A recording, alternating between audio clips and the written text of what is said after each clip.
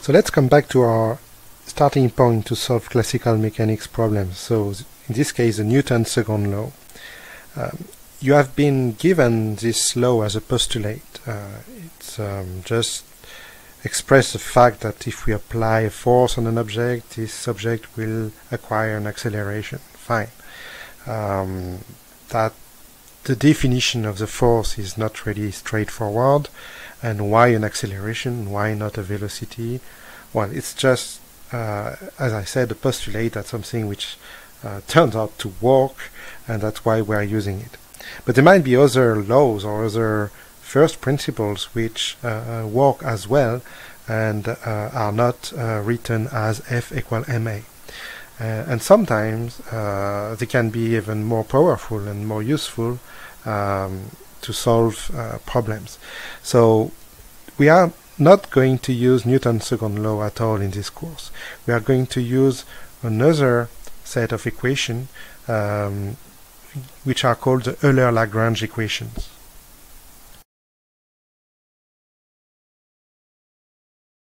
This equation may look complicated at the first sight because it um, different sort of uh, derivatives as you can see um, and also we, we need to define what is the object uh, L. So, but you will soon see that using these uh, Euler-Lagrange equation are often uh, much simpler than uh, using Newton's law. We will soon take a simple example, but first let me define what is L. L is called the Lagrangian, and in classical mechanics it is simply uh, express defined as the difference between the kinetic energy and the potential energy. Note that we have a minus sign here, so in, unlike the total energy, which will be the sum of the kinetic and potential energy, the Lagrangian is difference is uh, defined as the difference between the two. In the case of an object falling under gravity, we simply have We now need to plug this Lagrangian into the Euler-Lagrange equation.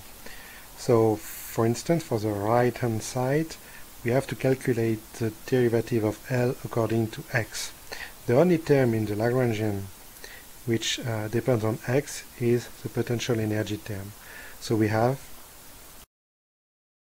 for the left-hand side, we have first to take the derivative according to x dot, which only appear in the kinetic energy term so we have now we need to take the time derivative which gives combining the left and right hand side we recover the equation of motion. So we see that uh, Newton's second law and Euler-Lagrange equations lead to the same equation of motion. So they for this problem at least we show that they were equivalent.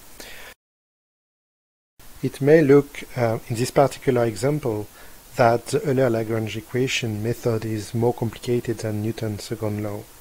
But we will see that in general, uh, this is not the case, and Euler-Lagrange equations are actually more useful. Uh, a word of caution, though, the two approaches are only equivalent when the system does not have uh, friction or dissipation. So it only works in the case uh, where we have um, what we call conservative forces, that is, forces which derive from a, potential energy.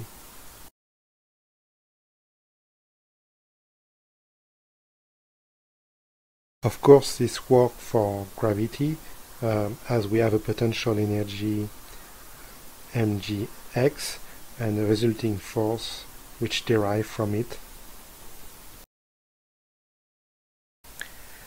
We will later prove that these two approaches are formally equivalent and that the Euler-Lagrange equations come from um, something more fundamental which we call the least uh, action principle or more precisely the stationary action principle. We will also show how the stationary action principle actually comes from quantum physics and later we will uh, um, look at the case of special relativity, in which case, however, um, the form of the Lagrangian will be different.